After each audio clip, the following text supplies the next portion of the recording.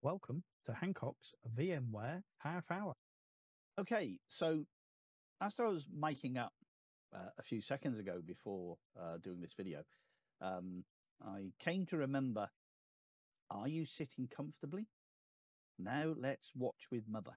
I'm not quite sure whether or not that you're in the UK, uh, but many years ago, back in the late 60s and certainly early 70s, there was a, something on the television called, on BBC One, uh, called Watch with Mother um, which were uh, a number of children's programs, uh, I think probably for less than children five years of age or under.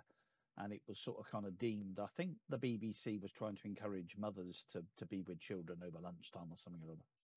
So it's called Watch with Mother. And it started with, Are you sitting comfortably? anyway, so, excuse me. Uh, so, are you sitting comfortably? Um, and in this uh, quick video today, we're going to carry on this little series. Uh, of course, tomorrow is D-Day uh, or Termination Day for um, VMware Skyline Advisor Pro 3.5. Um, as you will know in the last couple of videos that I've actually basically done with Goodbye to Skyline Advisor Pro and a um, couple of videos that we did on the deployment of Aria operations uh, manager. Uh, then we did a video on how to upgrade uh, 8.16 to 8.18 and because the findings delivered by Aria operations manager which is a pseudo replacement for the findings in skyline advisor pro uh, you also need to have uh, Aria operations for logs installed as well. So that's what we're going to do today in this video. And if you've been following um, again, the same thing applies. No idea why. Um, I can't download 8.18 uh, of what is called VMware vRealize logs, because that was the old name. Now it's ARIA. Uh, I can't download 8.18. I can only download 8.16. Uh, but I can download the patch for 8.18. So in exactly the same way that we did with Aria Operations Manager deployment, uh, we installed 8.16 and then I did another video in upgrading 8.18. So we're going to do exactly the same here with this. So today's video is all about the deployment of um, the initial um, appliance. So um, I'm already at the deploy OVF screen. I'm pretty sure by now I don't have to show you uh, how to find that within VMware vCenter Server.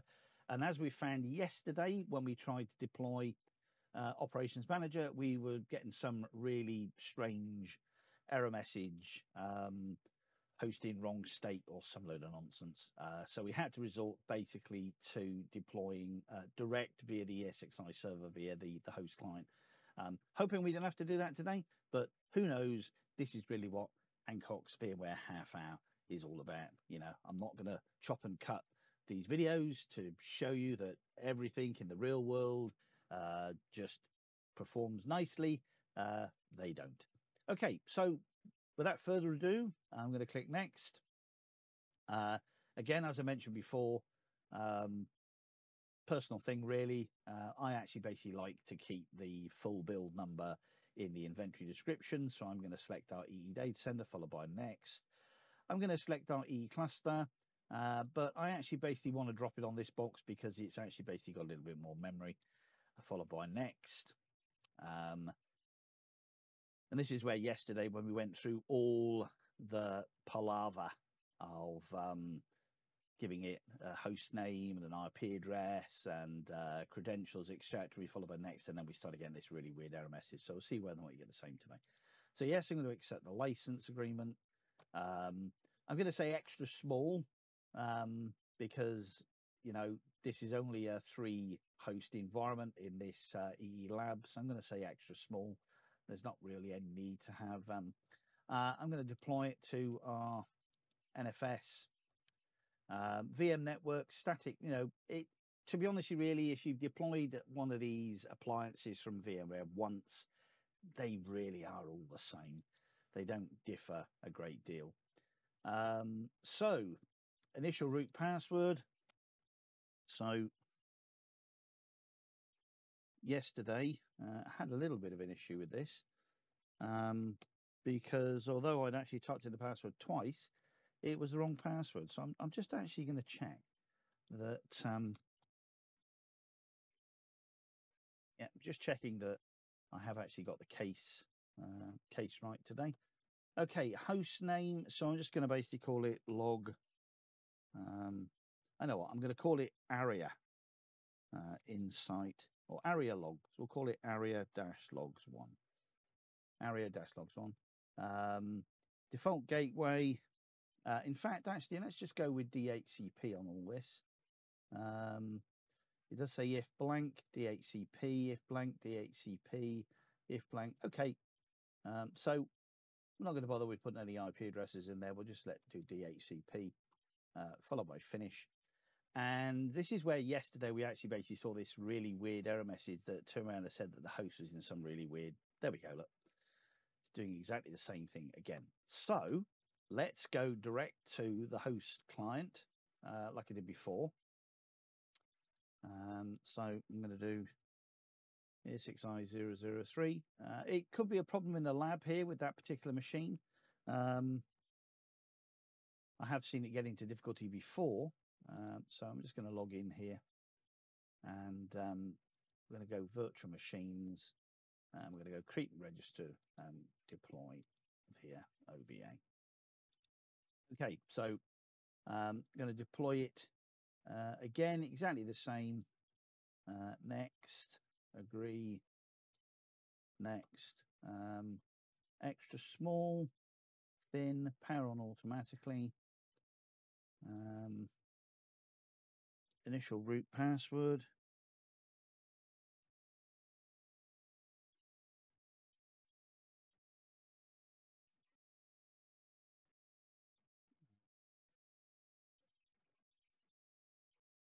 Interesting, it doesn't actually say anything about DHCP this time. Um, so let's go to Aria uh, logs one. Um, okay, I'm going to take a chance here, not filling in any of this in and just clicking next and see whether or not that it will just assume a DHCP IP address, uh, followed by finish. And um,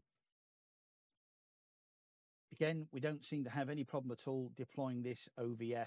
Um, so whether or not there is something wrong with HA, uh, DRS, um, vCenter Server 8.03b, um, mysterious this one.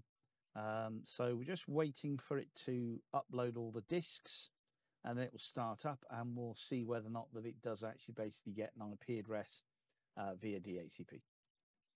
So that's deployed successfully uh, and we're back in the VMware vCenter server view and we're just waiting for the machine to um, to boot up.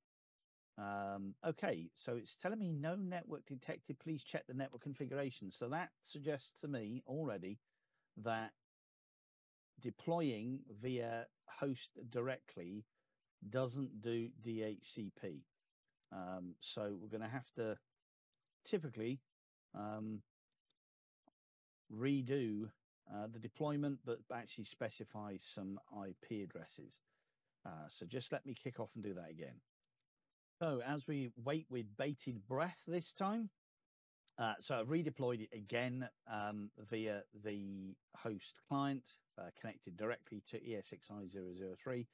Uh, this time I actually basically gave it all the network parameters that were required. So hopefully when it initializes this time, it's not basically going to give us an error message that says uh, no network detected. Um, however, I have seen um, various issues um, when deploying via ESXi directly and deploying via vCenter server. Uh, I think there is most definitely um, parameters of the OVF are interpreted differently. Okay, so I'm looking here at uh, uh, the VMware tools that's actually running and reporting back to VMware vSphere here, vCenter server. And it is actually basically telling me that it's got 138.53, which is the IP address that I gave it. Um, so I'm just going to check whether or not that there is actually any network connectivity. And there is, I can actually basically ping 138.53. So that clearly was the problem. uh, although DHCP is an option if you deploy to VMware vCenter Server.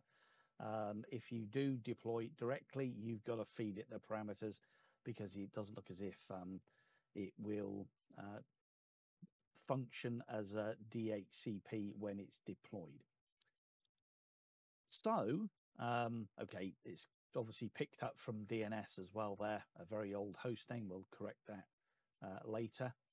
Um, that no longer exists, that server anymore. Um, okay, so without further ado, let's actually basically connect direct to that IP address. Okay, here we are. Uh, VMware ARIA operations for logs. Uh, interesting. Although the file name actually basically refers to it as VMware vRealize uh, or log insight, uh, it does actually basically say there VMware ARIA operation for logs. Okay, so let's click uh, next.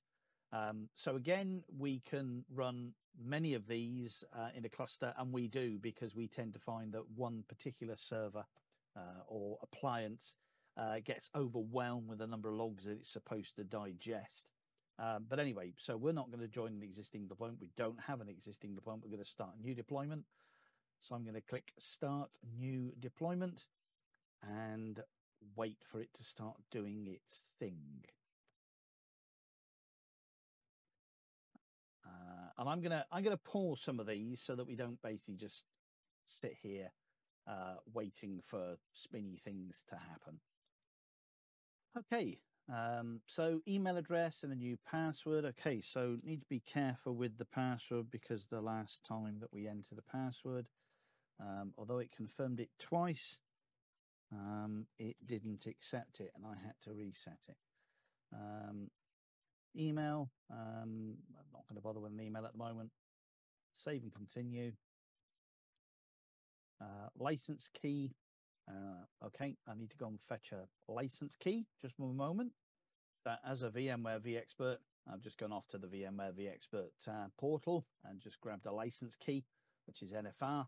Um, however, um, you can join VMUG Advantage and uh, also obtain license keys uh, for trialing and writing blogs about these particular products. Um, okay, um, not going to basically fill in any email notifications, but you can do if you require. So I'm going to click save and continue. Uh, it's now asking me basically to fill in some. Uh, I didn't even know that VMware actually basically had um, uh, NTP servers. Um, anyway, we're going to use the own servers here in the in the lab.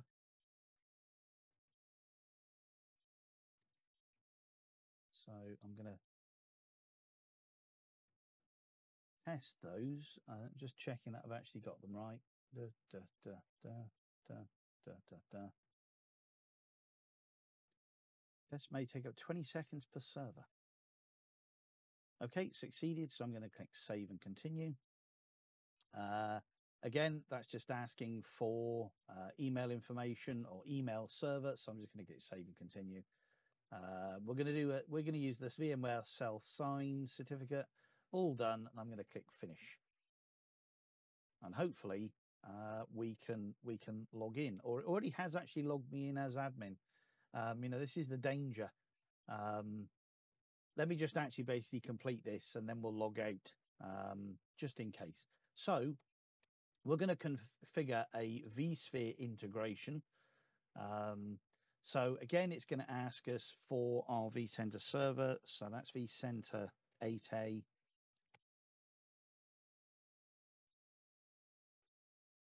Uh, we're going to use the um, SSO account uh, to which I'm going to go and fetch its password.